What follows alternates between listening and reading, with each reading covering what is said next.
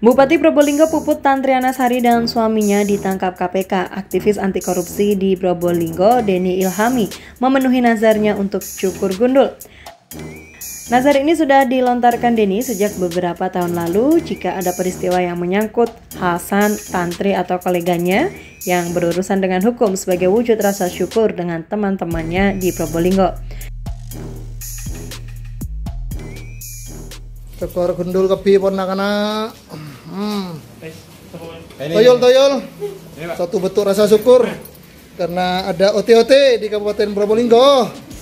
Sebelumnya, Bupati Probolinggo dan koleganya sudah dilaporkan beberapa kali atas dugaan kasus melanggar hukum, namun laporan berjalan lambat dan bahkan tidak diproses hingga diasumsikan Puput Tantriana dan Hasan adalah orang yang kebal hukum.